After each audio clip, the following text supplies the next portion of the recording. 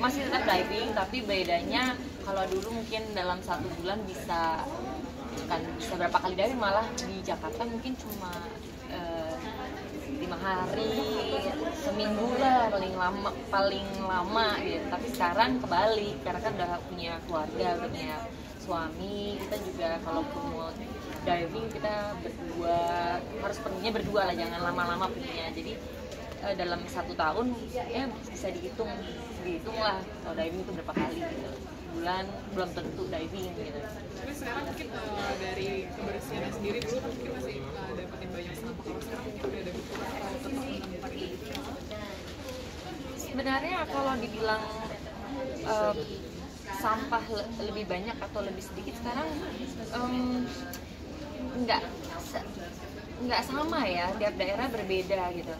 Tapi ya begini satu, sisi memang bagus sekali dengan peningkatan pariwisata kita eh, orang-orang banyak yang eh, traveling dan melihat langsung keindahannya. Peningkatan pariwisata tinggi tapi tidak seimbang dengan eh, pendatang yang tidak tahu etika dalam arti buang sampah sembarangan. Tapi memang ada beberapa daerah juga yang karena tahu ini potensi tinggi untuk apa untuk mengangkat pariwisatanya mereka sangat mem- memikirkan mereka dalam arti pemdanya memikirkan akan kebersihan sama keamanan dari titik eh, titik eh, apa untuk tempat-tempat pariwisata ini titik objek wisatanya gitu. jadi ada daerah yang semakin parah dalam arti kotor ada juga yang semakin bersih karena tahu potensi tinggi untuk eh, di bidang pariwisatanya jadi tidak sama Tapi kalau favoritnya Kanadin sendiri gimana sih? Mungkin bisa disebutkan tiga gitu.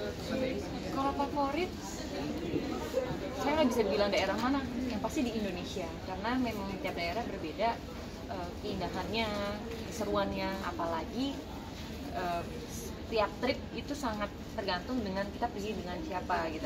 Jadi tapi eh, trip itu akan menyenangkan dan berkesan pada saat kita punya cerita atau momen yang indah pada saat melakukan perjalanan. Tapi untuk Kanadin sendiri memang sama hobi diving juga atau gimana sih? Ya kalau Dimas diving juga.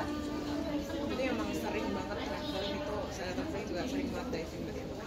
Iya kalau sebisa mungkin kita melakukan kegiatan bersama karena memang ya itu poinnya kan berkeluarga dari Nadine sendiri di antara melakukan hobi dan kemudian mungkin aktivitas um, jaga lingkungan ya kayak mungkin mengurangi sampah plastik kah sambil diving sambil mengutin sampah plastik gitu. sebenarnya menjaga lingkungan itu bukan